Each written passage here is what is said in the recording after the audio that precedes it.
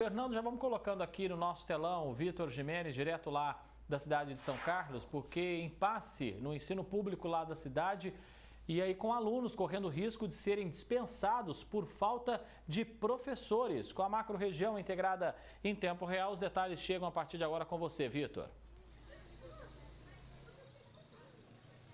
André, boa tarde a você, boa tarde a todos. A dispensa dos alunos já começou hoje aqui na escola EMEB Carmine Bota, viu, André? Ao todo, desde o começo do ano letivo, que foi lá no dia 6 de fevereiro, 110 aulas não foram ministradas aos alunos durante esse período. Foram 48 aulas de matemática, 16 é, aulas de geografia, 18 aulas de artes, ciências foram 16 aulas e mais 12 aulas de português. Com essa falta de professores, o que a escola teve que fazer, André e pessoal de casa? Tiveram que liberar os alunos mais cedo. Um entram às 7 e saem às 8h40, outros entram às 8h40 e saem às 10h30. Então, um horário muito complicado aqui na EMEB Carmine Bota. Nós estamos com a Ariane Sondato, ela que é conselheira tutelar, ela vai conversar com a gente sobre essa situação.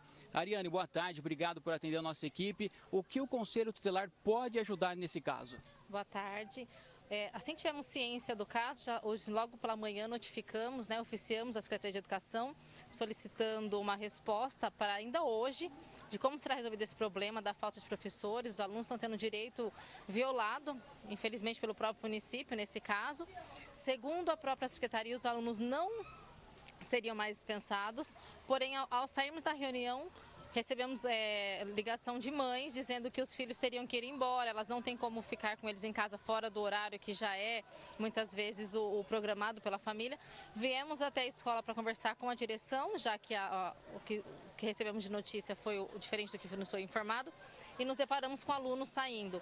É, e mães também nos abordaram aqui na frente dizendo que os filhos têm que entrar às 8h30 para sair às 10h40 e que nesse caso nem compensa enviá-los para a escola.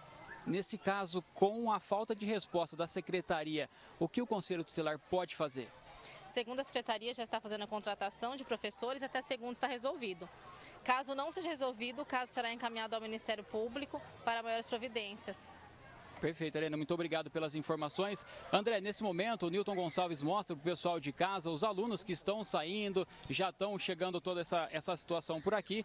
Nós entramos em contato com a Prefeitura aqui de São Carlos para verificar sobre toda essa situação, aos pais já vindo buscar os alunos, né? Vai ter outra entrada agora na parte da tarde, uma situação muito complicada por aqui, viu, André? Nós conversamos com a Prefeitura aqui de São Carlos e até o momento não foi enviada uma resposta sobre o porquê isso tem acontecido. Lembrando, hein, eles foram notificados desde o início do ano letivo que estavam sem professores nessa unidade. André, volto com você. É um absurdo, né? Tem que saber o que está acontecendo realmente, porque alunos que vão ficar sem aula por conta de falta de professor, o que está acontecendo aí é, realmente, né? O que, que os alunos têm a ver com toda a situação? Não sei se envolve, o que, que envolve, é realmente falta de profissional, o que, que pode estar tá acontecendo, mas fato é, não dá para essa criançada toda perder dias letivos por falta de professores. O espaço está aberto, a gente espera uma manifestação por parte aí da prefeitura com relação a esse assunto. Valeu, Vitor, obrigado.